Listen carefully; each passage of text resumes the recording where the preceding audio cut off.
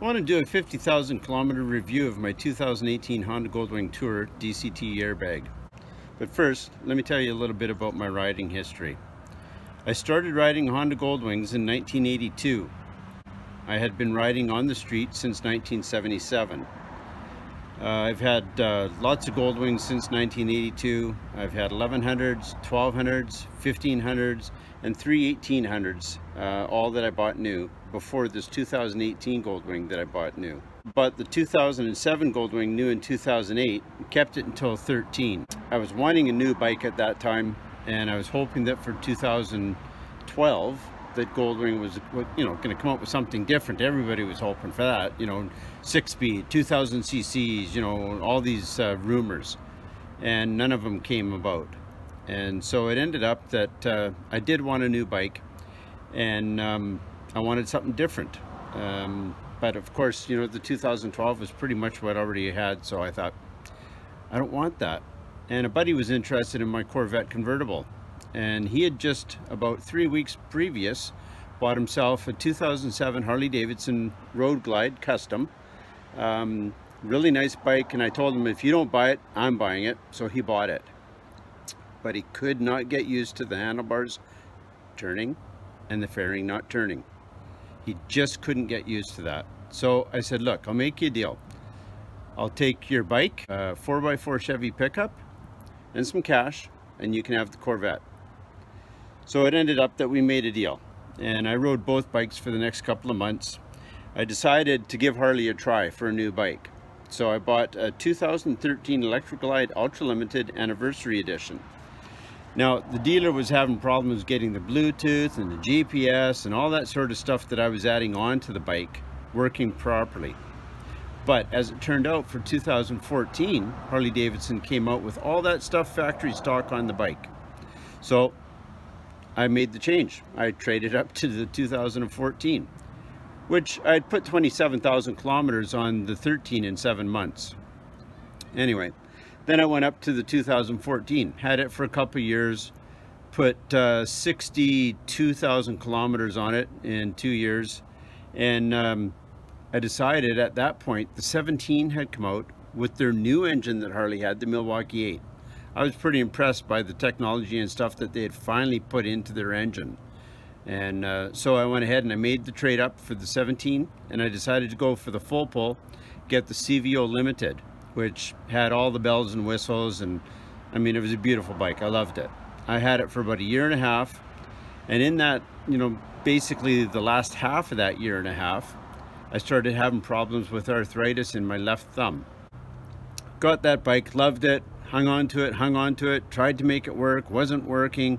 Honda came out with the DCT well it was a no-brainer. I needed the automatic. So I traded in the Harley took a loss on it and uh, traded straight across for the uh, Honda Goldwing. And uh, I've had uh, the Honda Goldwing um, since uh, July 26, 2018. And I've got 53,000 kilometers on it now, I think. And um, really enjoying it. It's basically, it's been smiles ever since I got it. And uh, just really enjoying it. Um, I'm now back to putting some kilometers on my bike, obviously and uh, I've had a couple of good trips and I wanted to do this longer kilometer review uh, instead of me you know hearing about well I've put 5,000 kilometers on my bike now in two years here's my review.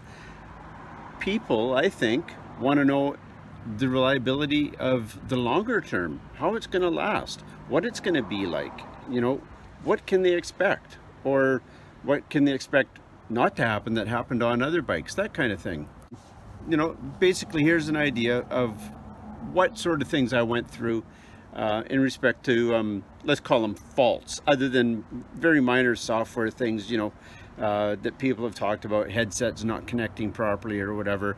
Once you get down how to do it properly, follow the directions that are out there, whether it be in the manual or the YouTube videos, just follow them and it works, okay? And I haven't had any issues since then. Now, one thing that happened one time is I was riding along and uh, I think I was in fourth gear or fifth gear maybe even. And then I made a quick right and then started to go up a hill. It downshifted to third, but it wouldn't shift anywhere else. It wouldn't downshift anymore. Uh, it wouldn't upshift. Even if I was using the manual switches, I couldn't get it to shift. I shut the bike off, I started up, and it was like back in neutral, but it was showing a weird display on the dash where normally it would show an N or the gear that you were in. And um, so anyways, I reinitialized the DCT and boom, everything was fine again. And it's been fine since. That's never happened to me again. That was one time in 50,000 plus kilometers. So I'm not complaining. Now, um, the other thing that was, you know, fairly uh, major and a lot of people gripe about is it does say in the manual, I think it's 38,000 kilometers you're supposed to inspect and adjust your valves if need be. Well, mine was starting to get noisy, you know, in the early 30s. And um, by the time I reached uh, 44,000 kilometers, I took it in the, the dealer and uh, they shimmed it for me. Um, there was about eight, mostly exhaust valves that needed adjustment. Uh, they shimmed them all up, got it all done, and uh, that was fine. Uh, you know, the ticking more or less went away um, right after that. Uh, the bike performs fine. I've changed the air filter only once on this bike. Um, yeah, I, I, am not complaining about the bike at all. I think it's been great. Uh, it's been a really good, reliable bike for me. Okay, people want to know about long distance riding. So I'm one that in about two weeks I'll do, you know, anywhere between 10 and 15, 16,000 kilometers in a couple of weeks. So that's a fair bit of riding. Um, you know, like the first summer that I had the bike, my wife and I left Vancouver, BC, and we rode down the Oregon coast, touched into California, then we went back inland and came back up through California and Oregon, um, basically middle to east side kind of thing of those states and uh, then into Washington and back home. It was a great trip, uh, absolutely no problems, no issues, uh, nothing at all. And then, um, you know, the next spring I met a buddy in Calgary, Alberta, and we rode down in through uh, Glacier National Park, sorry, in Montana and then we went down in through Idaho, East Oregon, Washington, back home into Vancouver. And that was, uh, I guess that was nine days. Um, that was a great little trip. Uh, again, no problems, no issues, just one up on that one. Um, you know, of course, the other one with my wife was two up. Then I did another two up with my wife. That was a big one. Um, I rode by myself to Denver, Colorado, met up with some buddies there. We went riding up Pikes Peak and we went up to the top there and then from Pikes Peak um, it ended up that I had dinner with them and then I headed east towards Nashville Tennessee. Uh, they went west back towards Vancouver. I met my wife in uh, in Nashville. We spent a day there. We'd been there before so it was just kind of a, a nice little quick day stop. And then uh, got on the bike. We rode back um, from Nashville to Vancouver, BC. And uh, it was, again, no problems, no issues, nothing going on weird.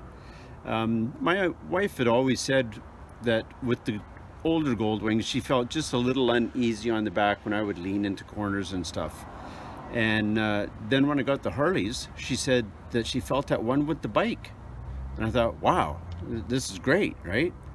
And uh, then of course when I had to change for the Honda, it was all about me and how I felt and what I needed to be able to ride. And she got on the back of the bike and um, you know we did a couple of uh, day trips and uh, she said she felt the same on the uh, new Goldwing as she did on the uh, Harleys that I had. She she said she really feels that one and relaxed and comfortable and uh, all was good. Um, you know now on another note um, when I went to the Harleys, I kind of slowed down a little bit in my riding style, let's call it. Uh, still scraping corners and all that kind of stuff with the Harley, you know, I mean, it, it was a lot of fun. Um, but uh, I wasn't going as fast uh, down the road. And uh, then I got back on the uh, Goldwing and all of a sudden I'm going fast again because this is a nice light sport touring bike. You put it in sport mode and whether I'm by myself or with my wife, she's fine with it in sport mode as well and we just get into it and have some fun on the twisty roads Um, you know, the back of my bike, I've had a decal made that says Twisty Seeker because that's what I'm all about. So, you know, I, I, I love this bike. Um, I do ride it a little more aggressively, but I do drive for a living and I want to keep my license. So I'm not crazy stupid. And uh, I think the bike could be crazy stupid if I want it to for sure. But that's not what I want. So uh, I have added a few different things to the bike, uh, quite a bit of different things to the bike since I got it. So let me just grab the uh, camera here and I'm gonna face it away from me and do a walk around and show you some of the stuff. So let's start here around the uh, side. You can see I've put the 2020 grab rails on here. My wife really finds that she can hang on to them. I find it way easier for putting it up on the center stand. Not that I really had a problem, but it's just, it's nice to have something to grab onto. I can tie things down to it. Uh, it looks good. I'm happy with it. Of course, being the airbag, it comes with the deluxe armrest. Put the backrest on it.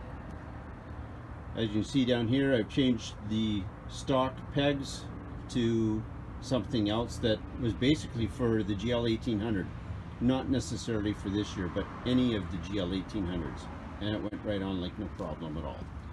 Then the Rivco highway pegs and they just fold away like that. And wind deflectors I've added mirrors I've added extra turn signals course when you turn them on they just flash on the side there. I've got turn signals down here as well. This is a hyper light and I really like them. I've got it mounted so that from the side as you're coming up beside the bike you see them flashing away. I've also got them on the trunk. You can see back here I've got hyper lights back there and antenna on the left side. That was a dummy antenna. Uh, CB antenna is actually on this side, but I always like the look of two antennas on these bikes. So I put a second one on just as a dummy, and the other day I picked up a little Y cable that actually connected this antenna into the hidden electric antenna for the AM FM. So now I've got those two antennas running AM FM I haven't done a road test yet other than just around the block to see how uh, the difference is with reception but I think it's pretty different. You see I've added a cigarette lighter a couple of switches. This here is uh, an XM satellite radio portable. These bikes in Canada for 2018 didn't have it there. Um, it's not part of the sound system on the bike. So I added an extra antenna and of course come around the front you can see I've got three sets of driving lights. The bottom ones are Rivco. Then the middle square one is run D right? So that's run hyphen D and I got them on Amazon. Then the top one is a Pia and they're kind of pointed out towards the side to light up the ditch for the deer at night. Front fender extension I do have flexi here that covers over the headlights because I don't want to break a headlight, that's for sure. This here is a dash camera setup. I have a front camera and rear camera and it's all into the same setup which is mounted right here on my handlebar. Then of course a cup holder, Oh, there's RAM mount for the iPhone, which of course gives me the uh, CarPlay and all that kind of stuff. Um, what else we got here? Okay, I have had my seat customized. It's got gel in the front here. It's been narrowed in the front for my legs because I'm a little bit short. You can see here we've added a couple of inches into the stock material to move it forward. Again, all for me. Then I've got the Honda trunk rack, the Honda rear light. Now that I don't have hooked up as a running light, it's just hooked up as a brake light that flashes, okay? And then down here you can see I've got a couple of little lights here. those were actually something that I had bought for my, oh, look at that. There's the rear camera lens. I had actually bought them for uh, my Harley and I took them off when I traded in the Harley. And they're Harley Davidson product and I just wired them in. On this bike, what I've done is I've connected a trailer wiring harness and that's what runs all my extra red lights, accent lights, as well as my tail lights and turn signals and brake lights that I've added extra to the bike. Yeah, they're all running off of that harness. I also have a fuse block terminal. That's running the extra things like the dash camera, the XM satellite radio, the power for the switches for the driving lights is off of that. Uh, you know, I'm trying not to touch into the CAN bus system at all. So that's pretty much what I've added extra to the bike except for one thing here that I didn't show you yet. This is the decal I was talking about on the back, says Twisty Seeker. We got a little scratch here, so I actually just had somebody make up a little decal that says DCT. Put that on it. Oh, look, two full face helmets. I've had people say that they cannot get two full face helmets in the trunk of their bike. This is the stock trunk lid and then I've had people say, and then if you got your headset mounted on there, there's absolutely no way you're going to get it. And look, there's my headset. All I did is I just put this helmet here. That's the bottom. This is the front. Okay, put it in, tilt a little bit. Then you take your second helmet and you bring it in like so, and then tilt it into the other one so that the nose goes in there. Just wiggle around a little bit. So you just put the helmets in there and close it up. Open it up and I just wanted to show you something else that I added.